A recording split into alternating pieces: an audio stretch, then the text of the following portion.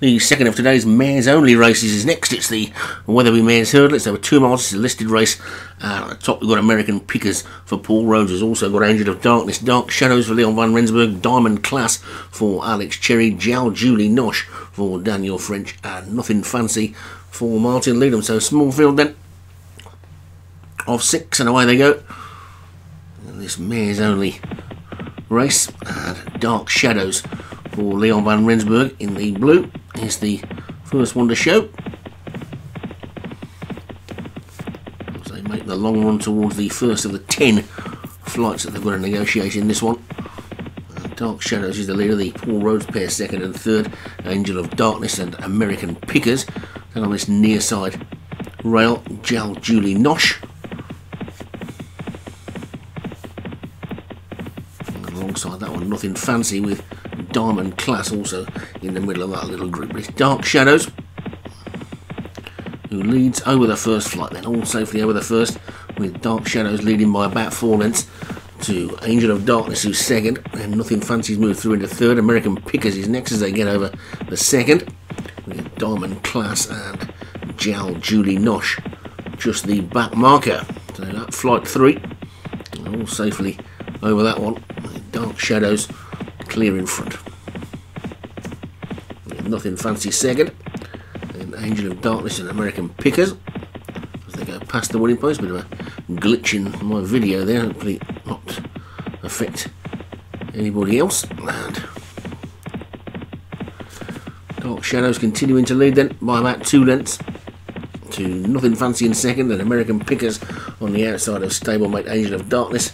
A bit of a gap then to Diamond Class, and finally Jal Julie Nosh, who's the back marker.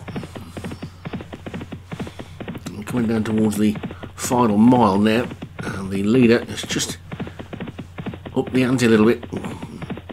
Pace has quickened as they get over flight four. Dark Shadows is six lengths clear now of American Pickers Nothing Fancy and Angel of Darkness virtually three and a line mistake at the back was by Diamond Class. Jal Julie Nosh has now moved up to join that chasing pack, but they've still got to get to this leader, Dark Shadows, who's probably only four lengths clear now as Angel of Darkness moves into second. Nothing fancy over that one nicely in third. Then Jal Julie Nosh, American Pickers, just drop back a little bit, and Dark Shadows continues to lead.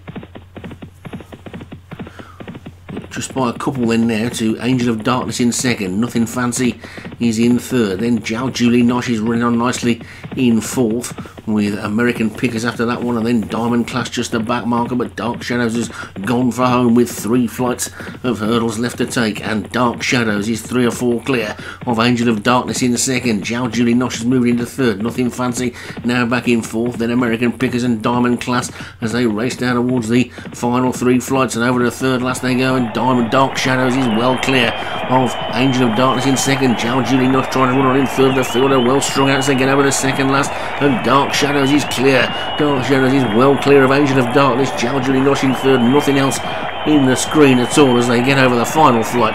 And it's Dark Shadows going to take this one really easily. Up towards the line, pillar to post win. Jockey's did a look round. Up towards the line, it's a win for Leon van Rensburg. Dark Shadows takes it. Angel of Darkness second. Then Jal Julie Nosh and American Pickers. And then finally Diamond Class. And nothing fancy finishing together at the back. But Dark Shadows